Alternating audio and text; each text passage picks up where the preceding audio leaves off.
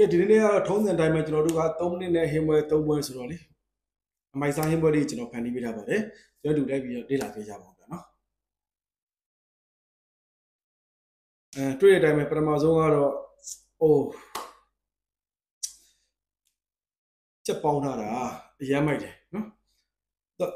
ချက်ပေါင်းနှစ်ချောင်းကိုပဲရေလွေးဆူဆူနဲ့လောင်းချလိုက်တာဗျอืมဆိုတော့ဆိုဘက်တရီယာရင်သေသွားမဲ့ပုံစံလည်းဖြစ်နိုင်တယ် ပြီးတော့အပေါ်ကျော်လေးနှုတ်အောင်ပေါ့နော်ဟုတ်ပြီထားပါတော့ဂျင်းဂျင်းထည့်လိုက်မယ်ပြီးသွားရင်ကုကင်းဝိုင်ထည့်လိုက်တယ်နော်ဆန်ရက်ရဲ့ပဲငန့်ပြရဲ့အနောက်ရဲ့ပြီးသွားရင်တကြားရဲ့ sorry ပဲငန့်ပြအကြည့်နော် okay အဲ့ဒီကို तू က marinate လုပ်မယ်နော်နေမှာပေါ့ပြပြချင်းသေးကြလေးအနဲ့အရသာလေးကိုဝင်သွားအောင်အရသာသေးချဝင်သွားအောင်လေနော်ပြပြချင်းနေပြီးသွားရင် तू နှက်ထားမယ်ထုံးစံတိုင်းပဲတော့ပေါင်းတဲ့ချက်မှာတော့ကျွန်တော်ထမင်းပေါင်းရှိရင်တော့ချက်လို့ရရင်ဗျအေးစေပဲအဲ့မှာချက်သွမိတ်တွေခင်းလိုက်ပြီးစီးတုတ်ထားတယ်ချက်သွမိတ်တွေခင်းလိုက်တယ် နော်โอเคပြီးသွားရင်ခုနခုနချက်ချက်ပေါင်းနဲ့ချောင်းလုံးခင်းလိုက်ပြီခုနထွက်လာတဲ့ seasoning sauce တွေကိုတော့လောင်းထည့်ပြီးပေါင်းလိုက်အောင်ဟိုရန်ရိုးရှင်းရှင်းနဲ့တော်တော်ကူကူပဲလေနော်အိမ်မှာရေလောက်စားလို့ကောင်းတယ်ပြီးတော့ချက်ပေါင်းတွေခုတ်လိုက်တယ်ခုတ်ပြီးထွက်လာတဲ့အဲ juice တွေကိုပဲအကုန်လုံးပြန်ပြီးတော့လောင်းထည့်ပဲနှမ်းလေးဖြူလိုက်တယ်ပြီးသွားတယ်အရန်မိုက်တယ်လွယ်လွယ်ကူပါပဲအိမ်မှာလို့လုံစားလို့ရအောင်ကျွန်တော်တင်ဆက်ပေးတာပါဒါလူကြီးလူငယ်အကုန်လုံးတဲ့တယ်နော်အကုန်လုံးကလေးတွေစားလို့ရအောင်တင်ဆက်ပေးတာဖြစ်ပါတယ်နောက်တစ်ခုကတော့ဒါ jelly fish သည်ကြည့်ကြည့်အောင်အရန်မိုက်တယ်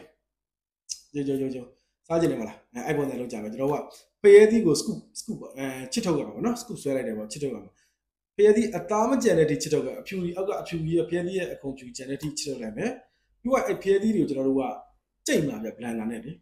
blender နဲ့တေချာညံ့အောင်ကြိတ်အခေါ်ကျွန်တော်အစိရတော့ဖယ်ထုတ်ပါနော်အစိရတော့ဖယ်ထုတ်လိုက်မယ်ပြီးရင်တေချာကြိတ်လိုက်မယ်နော်ပြီးတော့တကြားထည့်မယ် jelly powder တော့ကျွန်တော်တို့ကြောက်ကြောမှုန့်ပေါ့နော်ကြောက်ကြောမှုန့်ထည့်လိုက်မယ် ပြီးတော့ဒါပဲပြီးတော့မှုရမှာဗျနော်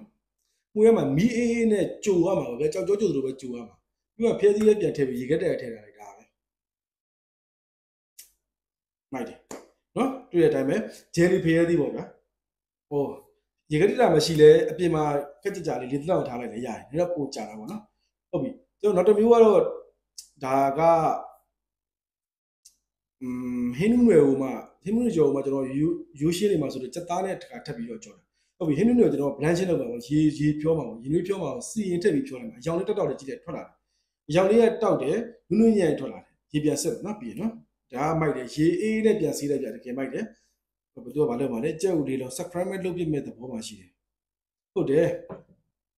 อืมဟုတ်ပြီကြက်ဥလေးလုံး sacrament sacrament လုပ်လိုက်တာတော့သူကကြေဝအောင်ကြော်လိုက်တဲ့သဘောပဲနော် ကြက်ဥလေးလုံးဖောက်ထည့်ပြီးကြော်လိုက်တယ်သူကရင်อืมဟုတ်ပြီအသားပါမယ်ပန်းကတာရဲ့အကြည်อืมဟုတ်ပြီရေထည့်တယ်ကော်မှုထည့်တယ်ခူးစီထည့်တယ်ပြီးွားဟိုမိုက်တယ်ပြီးွားအဲ့ခုနကြက်ဥပေါ်မှာလောင်းထည့်လိုက်အရေးရိုးရှင်းရှင်းပဲလေကောင်းပါတယ်ဟိုဒါလေးကလည်းကြမ်းမိုက်တဲ့ညီကြီးတွေနော်ကျွန်တော်ကဒီမျိုးလေးတင်ဆက်ပေးတာဖြစ်ပါတယ် ကျေးဇူးအများကြီးတင်ပါတယ်ခင်ဗျာ